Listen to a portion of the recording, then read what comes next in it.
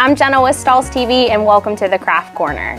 Today we're going to be doing a fun and unique project, but before we get there, I wanted to let you know about some new foil colors that Stahls added to their collection.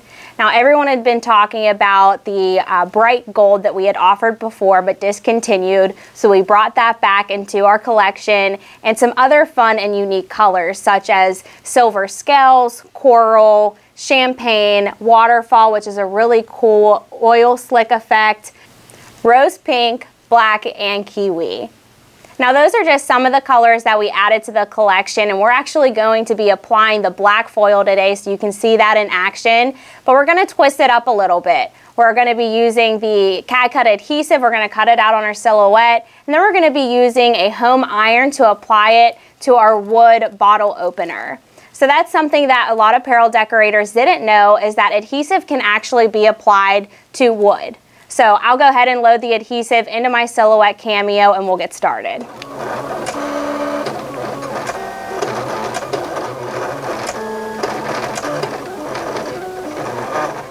CAD Cut adhesive is a clear product that works as a heat activated glue for the foil to adhere to. So being that it's completely transparent, I have it on the backing of my cutting mat so that it'll help me to be able to see those cut lines a little clearer. So if you're having a hard time weeding this material after cutting it, it's because it's a transparent material. So just place it on something that uh, has some color to it so it helps bring out those cut lines. Other than that, it has a nice tacky backing for you to get some nice detail in. So you'll see that I'm weeding away a cursive text. And if one of those edges happens to pick up in case my blade didn't have enough force on it or wasn't on the right setting so my cut lines didn't exactly come out hypothetically speaking it would be okay all I would have to do is just put that right back down on that backing and it would adhere right back down right so now I have all that excess material weeded away. All I need to do is go back in and weed away those cavity areas. To make this process a little easier, maybe choosing a, type of text where the cavities are already open so you can just pull right into those will definitely speed up the weeding process. Since this is just a decoration piece for kitchen decor, I'm not really worried about having to weed away a bunch of these, so I'm okay with doing a font that has closed cavities. Okay, so I have all of my areas weeded away. I'm just going to turn that over so that the light hits it a little better to make sure all those areas are weeded out. And it looks like we're good, so we can go ahead and iron our transfer on.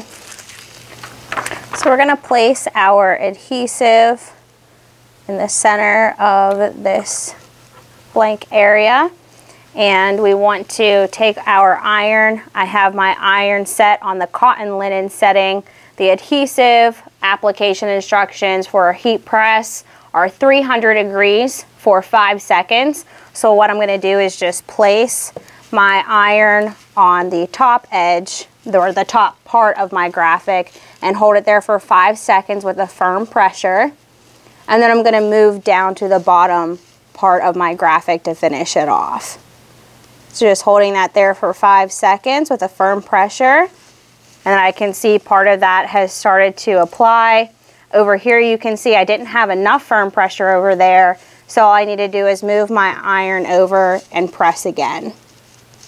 What's nice about applying adhesive onto wood, you can really tell where it has applied and hasn't applied. So you never have to guess whether you have the right amount of adhesion or not. Right, so you can just go ahead and move down to the next area. Whenever you're applying wood, you want applying to wood with adhesive, you want to make sure that you're getting a nice flat surface of wood because it can be a little tricky to get it to adhere if it has any ridges in it at all. All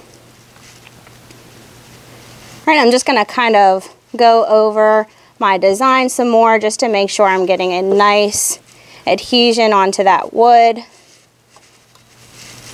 So it looks like it's starting to really stick on there. All right, so I can go ahead and peel my carrier back. Now, my adhesive is a hot peel, so I don't need to wait for this to cool down at all before peeling my carrier away. So as I'm peeling this away, you can see it's all in place. What I'm gonna do is just take my foil sheet, place it right over top of my adhesive. It'll stick right in place. So I'm going to grab my cover sheet, place that right over top. The reason I'm using a cover sheet for this is because this foil is a little finicky and it's very easy to move and I don't want it to move or crinkle up whenever I'm moving my iron over top of it. So this should keep it nice and flat and secure on that adhesive. I'm going to do the same thing I did with the adhesive. I'm just going to hold it in place with the bottom part of the graphic and then kind of move around each part of the graphic with a firm pressure. Now foil's application with a heat press is 8 to 10 seconds at 300 degrees. So my temperature of my iron is set at the right temperature. I just need to increase my dwell time with my iron. Now I'm going to go over the foil just as I did earlier with the adhesive, just kind of going over the entire surface to make sure I didn't miss any edges or corners of a letter there. Now my foil is a cool peel, so I'm gonna wait for that to cool for a little bit and then I can peel away my foil sheet. So I'm just gonna peel my foil sheet back.